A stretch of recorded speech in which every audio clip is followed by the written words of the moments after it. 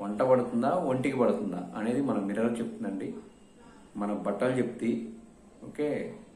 ఈ రెండు మనం పట్టించుకోకపోతే మన సమాజం చెప్పిద్ది నువ్వేంటమ్మా ఏజ్డ్ లాగా ఉండవు?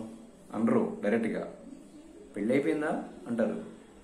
ఇది ఏజ్ చూస్తే ఇరవై రెండు ఇరవై మూడే ఉంటాయి పెళ్ళి చేసుకో ఉద్దేశం కూడా లేదు. కానీ మన శరీరం మన ఆకారం పెళ్ళైపోయినలా కనిపిస్తాం. ఎంత బాధగా ఉంటుందండి. అలా అన్నప్పుడు ఎవరన్నా.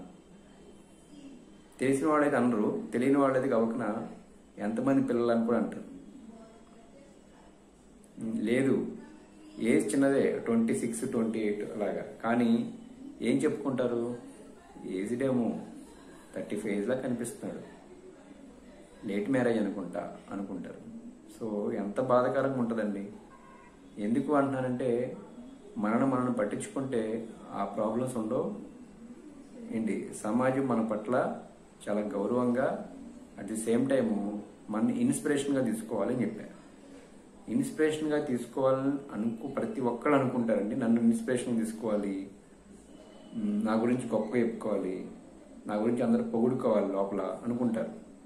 కానీ వెనక మన ఏం జరుగుతుందో మనకు తెలియదు కానీ అన్నిటికంటే ముఖ్యం మనం కాబట్టి మనకు మనం కాబట్టి ఆరోగ్య సూత్రాలు అనేది ప్రతి ఒక్కళ్ళు పాటించి తీరాల్సిందే. తప్పితే ఏమవుతుంది? ఆర్గాన్స్ అన్ని ఎవరితో ఫ్రెండ్షిప్ చేస్తే తర్వాత మీకు తెలుసు. అది బాగా ఎవరు తెలుస్తుందంటే ఇంటెన్సివ్ కేర్లో ఉండడం తెలుస్తుంది. చాలామంది అంటారు టైం లేదు నాకు అంటుంటారు. నిజంగా ఇంటెన్సివ్ కేర్లో ఉన్నప్పుడు ఆ మాట అనగలరండి ఎంతమంది సఫర్ అవుతున్నారు? వాళ్ళు హాస్పిటల్లో ఉంటే బయట ఎంతమంది సఫర్ అవుతున్నారండి? వాళ్ళ చుట్టాలు రిలేటివ్స్ మొత్తం బంధువులు ఫ్రెండ్స్. ఎంత మెంటల్ టెన్షన్ ఉంటుందండి? చిన్న చిన్న ఆహారపు అలవాట్లు మార్చుకోండి చిన్న చిన్న అలవాట్లు మార్చుకుంటే మనం మనతో జీవిస్తూ మొదలు పెడతాం అదేంటనేది నెక్స్ట్ వీడియో చెప్తాను.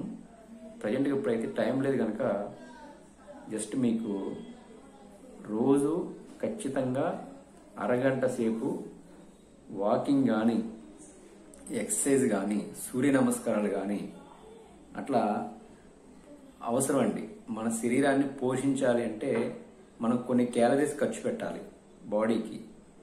అట్లాగే మంచి ఆహారం తీసుకోవాలి. పౌష్టిక ఆహారం మాత్రమే తీసుకోవాలండి. మేమైతే నైన్ ఇయర్స్ నుంచి మంచి పౌష్టిక ఆహారం తీసుకుంటాం